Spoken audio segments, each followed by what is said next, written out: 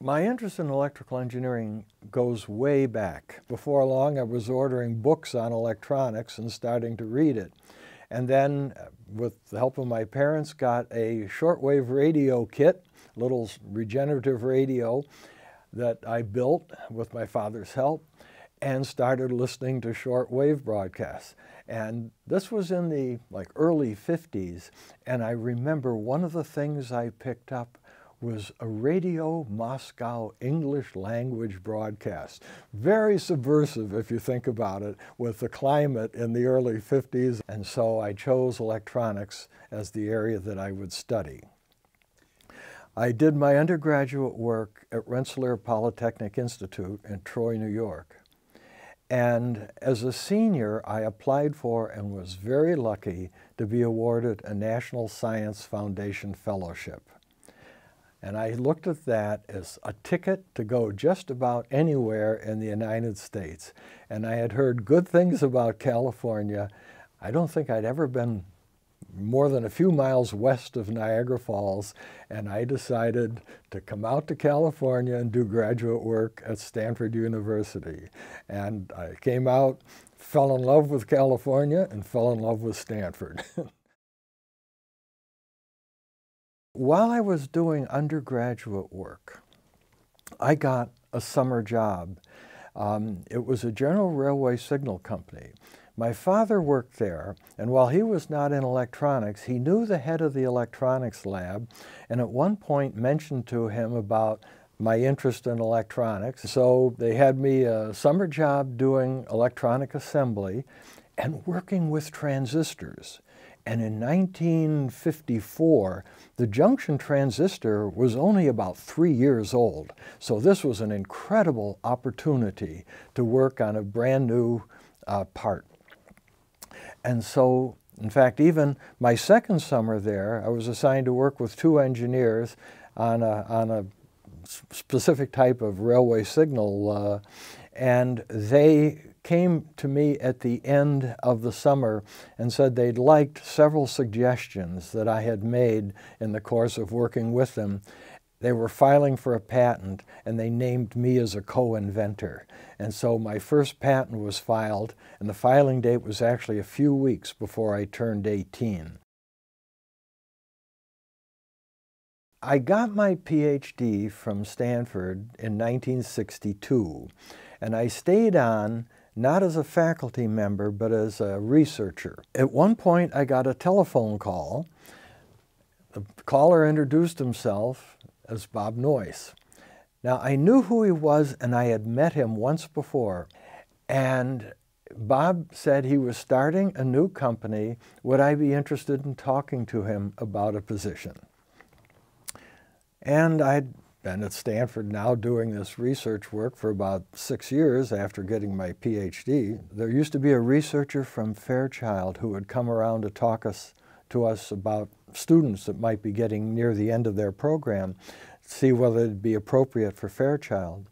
Uh, his name was Rex Rice.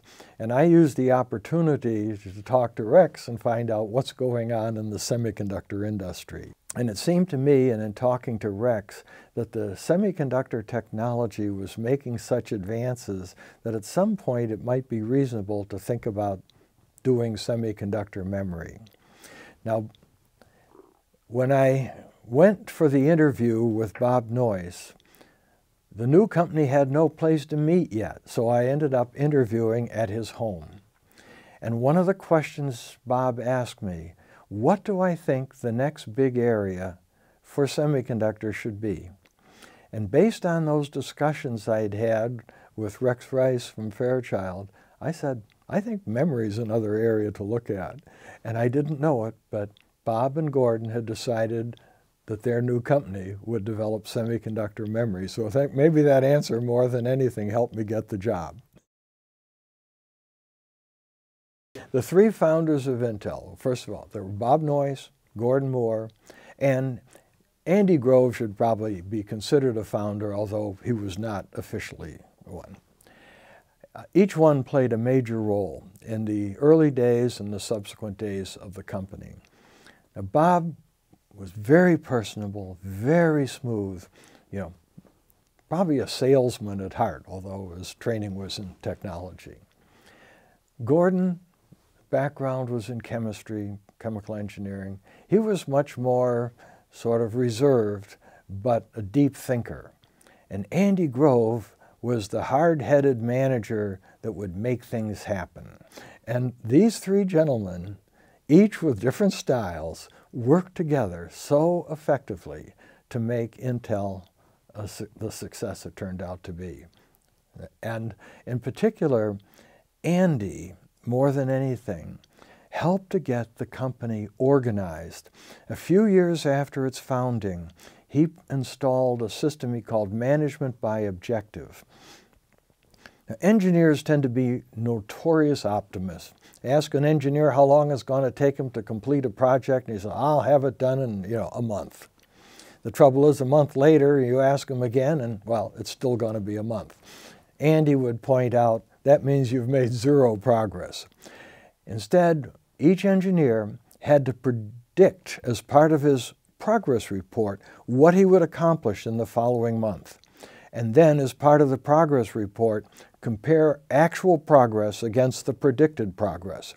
Well, a lot of us learned very quickly what optimists we had been, and we started to generate much more realistic um, you know, projections of what would be done. I think more than anything, that helped make Intel one of the most successful companies ever created. In the case of the microprocessor, Intel set up to do memory. And the major customers for memory would be the large computer companies.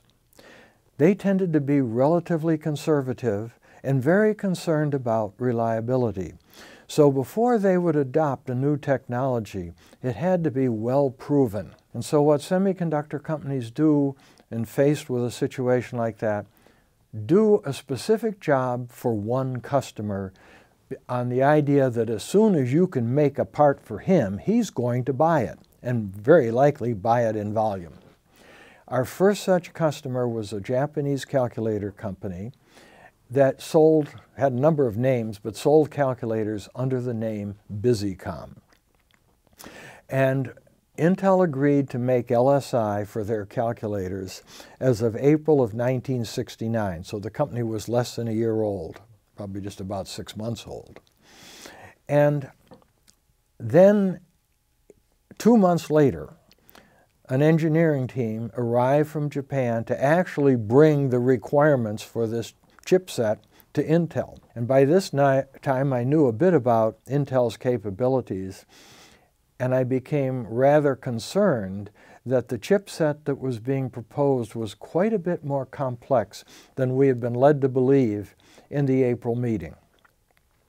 So I took my concerns to Bob Noyce, who I reported to at that time, and he suggested, well, if there's anything you think you could do to make it easier for Intel, you know, why don't you try to pursue it? Bob encouraged me to do my own work in that area, and there were a number of areas that looked to me like they were places that could could make um, some significant change.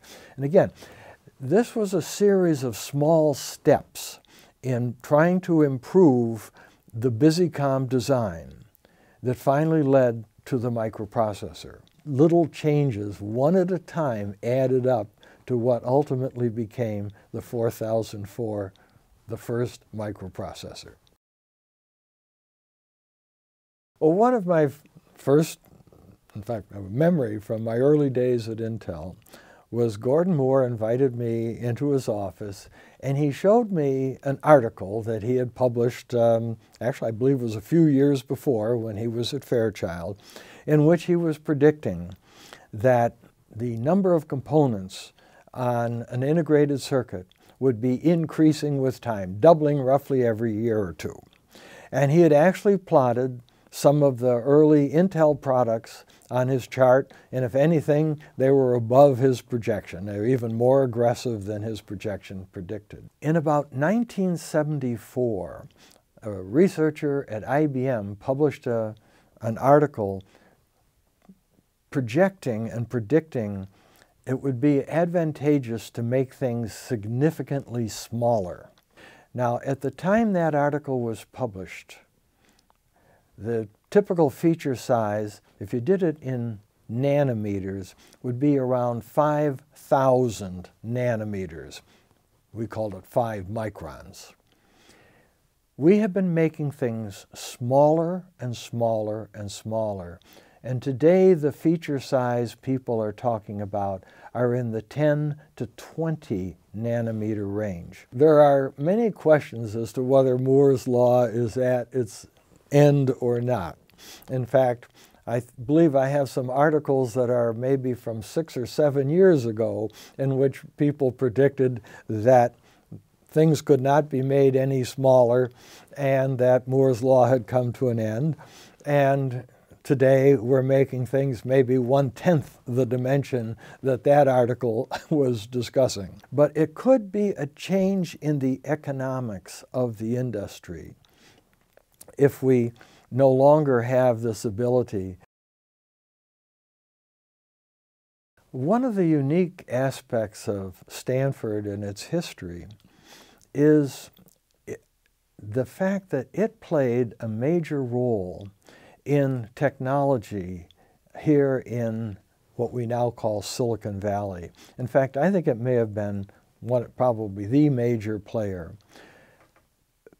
One of the people who's given considerable credit, and I believe deserves every bit of it, is Fred Terman, who was uh, here at Stanford for some years and very, very much interested in working with local industry and maintaining a good relationship between the university and local industry. Stanford had things like the industrial park where Stanford land became the actual location for high-tech companies, companies like Hewlett-Packard and so on. And there were co-op programs where Stanford students would be working perhaps some of their time with these local companies. And that seems to me to be almost unique in terms of the normal relationship between the world of academia and the world of industry. In fact, to the point where uh, it seems today you have more and more technical uh, institutions who would just love to be able to duplicate what was done here in Silicon Valley. But I think Stanford plays a huge role in that. There are a number of areas that I like to emphasize when I'm talking to, to young people. Um, one thing is that you have to be very careful in what is, you know, popular wisdom. It's not always correct. Um, the general view, even when it comes to like the microprocessor, I mean, it seems like the main media tends to think the only use for microprocessors is making, you know, basically notebook computers or things of that nature.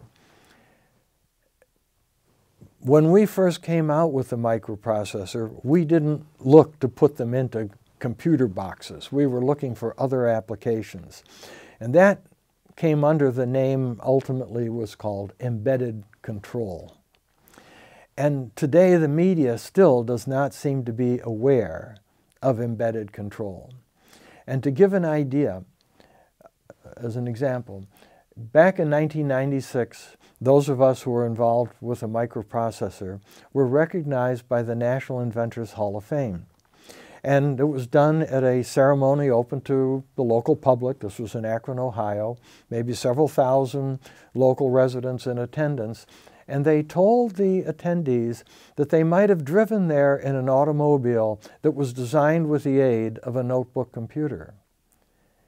And we looked at ourselves and said, they missed the point entirely. Probably everybody drove there in an automobile that was running under computer control. That computer control is what we mean by embedded control.